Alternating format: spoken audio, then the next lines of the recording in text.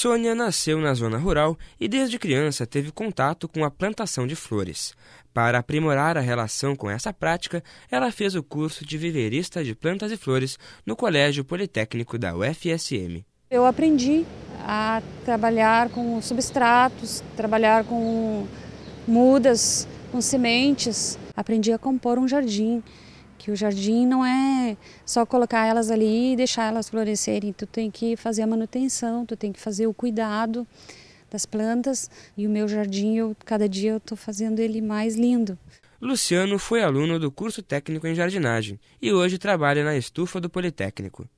Há seis anos no setor, ele resolveu fazer o curso para adquirir mais conhecimento. Você aprende a produzir a planta, desde a semente, uh, você passa por várias técnicas de produção, você aprende onde você pode produzir, uh, você tem tanto na área do paisagismo como na área da produção também. Foi bastante proveitoso, assim, foi uma retomada das coisas que foi uma reciclagem nas coisas que eu já tinha aprendido no curso.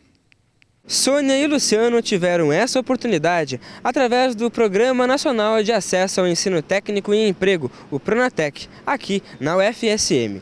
Criado em 2011 pelo governo federal, o programa pretende oferecer 8 milhões de vagas em cursos de formação técnica e profissional de ensino médio. O investimento previsto é de 24 bilhões de reais até 2014, recursos que devem voltar em forma de emprego e renda para a população. Para este ano, estão destinadas 32 mil vagas para todo o país. Desde o ano passado, a UFSM oferece a modalidade de Bolsa Formação dentro do Pronatec. O Colégio Técnico Industrial, o Politécnico e o Colégio Agrícola de Frederico Westphalen ofertam cursos gratuitos. São dois tipos de cursos: o técnico para quem está matriculado no ensino médio e tem duração de um ano, e o de formação inicial e continuada, os chamados cursos FIC, com duração mínima de dois meses. As escolas fazem uma pactuação com o governo federal através do sistema que existe aí na internet. Eh, e quem faz a matrícula desses alunos, quem, quem eh, seleciona os alunos, os candidatos a qualquer um desses nossos cursos, são ou as secretarias da educação, ou o exército, ou os sindicatos rurais e assim por diante. Para fazer os cursos, é preciso ter no mínimo 16 anos. Durante as aulas, o estudante receberá material didático e um auxílio para alimentação e transporte. No ano passado, foram oferecidas 477 vagas aqui na UFSM. Para este ano, cerca de 1.690 vagas estão destinadas para as três escolas. O Colégio Técnico Industrial oferece também cursos à distância através da rede ETEC Brasil. Essa rede ETEC Brasil, ela foi, eh, no caso aqui na escola, implementada já há mais de cinco anos e nós estamos atualmente com dois cursos à distância sendo ofertados para algo em torno de 10 uh, municípios, né, são chamados cidades polos. São os cursos de automação industrial e de segurança do trabalho. Além dos cursos à distância, o Colégio Técnico Industrial proporciona, através do projeto Soldado Cidadão, cursos nas áreas da mecânica, eletroeletrônica e tecnologias da informação. Criado em 2004, o projeto qualificou mais de 165 mil militares para o mercado de trabalho. Para 2013, estão previstas 20 turmas, com início das aulas para o final do mês de abril.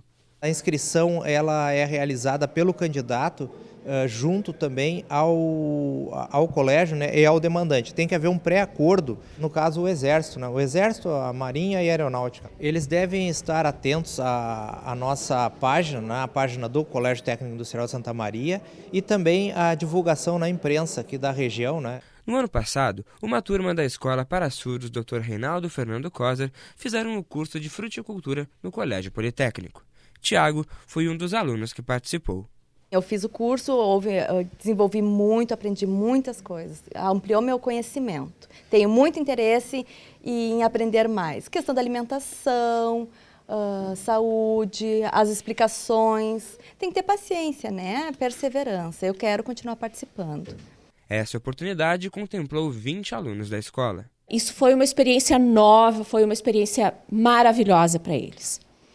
Conhecer o espaço da universidade foi uma experiência que ofereceu autonomia. Sempre tinha intérprete e eles conseguiram acompanhar com 100% de, de, assim, de excelência no curso, podendo, na restrição deles, fazer um curso que qualificou e eles saíram daqui maravilhados com o que eles viram dentro do curso que eles conseguiram aprender. O Colégio Politécnico trabalha com os cursos de formação inicial e continuada.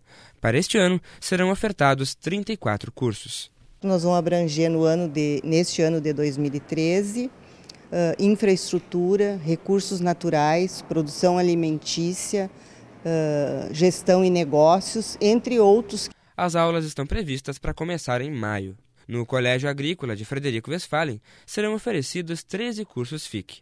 A partir de maio, começam os cursos técnicos em aquicultura e informática. Mais de 100 vagas estão disponíveis para Frederico Westphalen e outras duas unidades remotas da região.